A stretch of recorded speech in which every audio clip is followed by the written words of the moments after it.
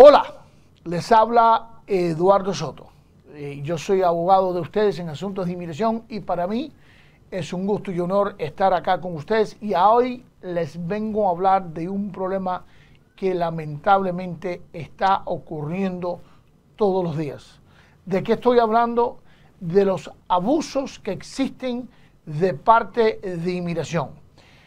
Abusos que existen en las embajadas americanas, abusos que existen en la frontera, abusos que existen de parte de la misma UCIS, esto en cuanto a sus demoras en procesar sus casos, y abusos de parte de la Corte de Inmigración y los jueces que presiden en ella. Hoy día no hay día que pasa que no hay abuso en estos o estas situaciones. ¿Qué se puede hacer con estos casos? Primero, yo quiero saber sobre su situación.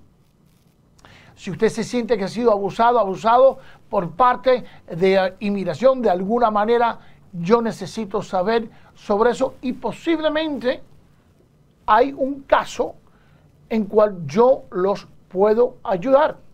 Yo he podido ayudar personas que tienen órdenes de deportaciones desde hace 20 años en el pasado y los pude reabrir, quitar el orden de deportación y hacerlos residentes después.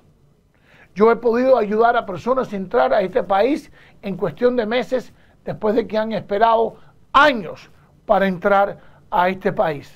Hemos reabierto órdenes de deportaciones en las cortes que no tenían, según mis clientes, posibilidad de ser reabierto personas que se encuentran en la frontera y que los mandan a diferentes lugares, injustamente tienen derecho de insistir en su asilo político en los Estados Unidos.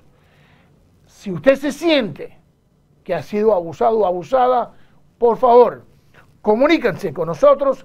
El número de pantalla, el número mío de teléfono está en la pantalla, al igual que el número de nosotros de WhatsApp. Me despido de ustedes, Eduardo Soto, los quiero mucho.